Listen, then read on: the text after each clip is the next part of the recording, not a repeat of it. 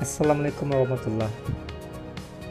Hello students, meeting again with Mr. Agung. Today we will discuss about how can we stay healthy.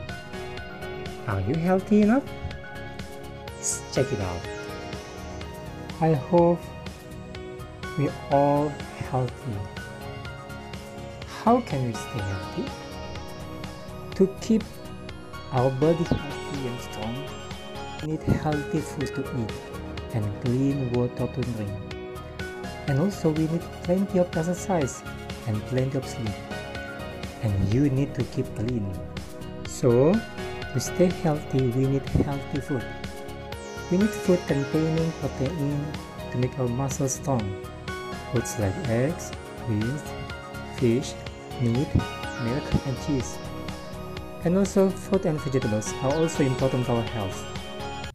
And also we need exercise because by having exercise it builds strong bones and muscles.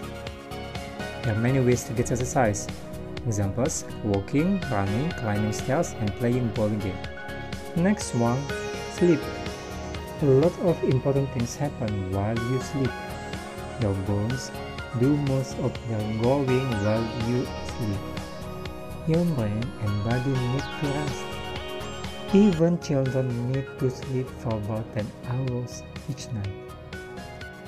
The last one, wash your hands. Germs are tiny living things which can make us ill if they get inside us. Our hands touch lots of things with germs, but we can't see them. Fortunately, we can wash away the germs with soap and water. Don't forget, always wash your hands before you eat. That's the way how to stay healthy. Okay? See this activity. Okay, let's discuss it on confirmation sessions. Bye bye student. Good luck. Assalamualaikum.